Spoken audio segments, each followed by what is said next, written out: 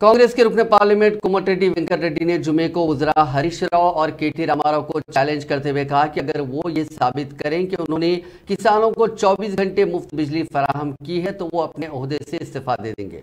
उन्होंने कहा कि वो अगर मुजरा ये भी साबित कर देते हैं कि किसानों को कम से कम पंद्रह घंटे बरकी सरबराह की गई तो भी वो इस्तीफा देने के लिए पाबंद अहद रहेंगे वेंकट रेड्डी ने कहा कि चीफ मिनिस्टर चंद्रशेखर राव पर यकीन करने के दिन खत्म हो गए और तेलंगाना में कांग्रेस बरसरे इकतदार आएगी उन्होंने ये भी कहा कि दलित बंधु और बीसी बंधु स्कीमों को सिर्फ इंतबात के पेश नज़र सामने लाया गया है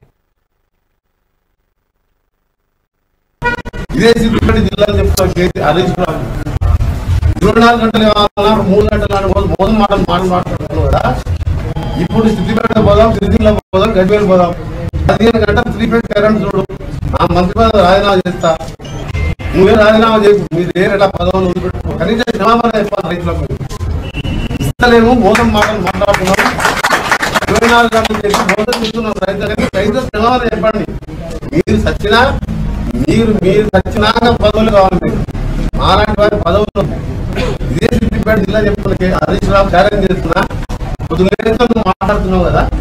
ఇప్పుడు పోదాం సిద్ధిపేట ఇరవై నాలుగు గంటలు కాదు ఇరవై గంటలు ప్రూవ్ చేయి.